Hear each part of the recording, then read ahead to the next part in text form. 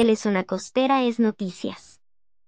Junto a Tarek El fueron presentados Samad López y Simón Serpa, que también fueron imputados por los delitos de traición a la patria, apropiación o distracción del patrimonio público, alardeamiento o valimiento, legitimación de capitales y asociación para delinquir.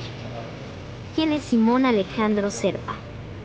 Él fue presidente del Fondo de Desarrollo Nacional de Venezuela Fonden, una empresa estatal creada en 2005 con el objetivo de financiar proyectos de inversión de gran envergadura, pagar deuda pública externa y atender otras situaciones especiales. El otro detenido para ser imputado es el, empresario Samar José López está señalado como el testaferro de Tarek El Aizami y ser uno de los accionistas de bancos comerciales en el país específicamente y extraoficialmente de Banca Amiga.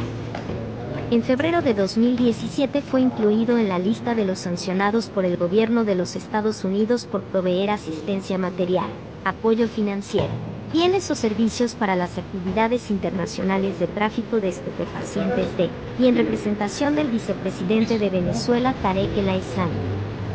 Y en octubre de 2020 Estados Unidos publicó una recompensa de 5 millones de dólares por su captura. Tras su detención el martes pasado, el fiscal general Tarek Williams Saab informó que el Aizami, Serpa y López serán imputados por los delitos de traición a la patria, legitimación de capitales, apropiación o distracción del patrimonio público, alardeamiento o valimiento de relaciones o influencias y asociación. Telezona Costera es Noticias. Síguenos para más información y mantente informado.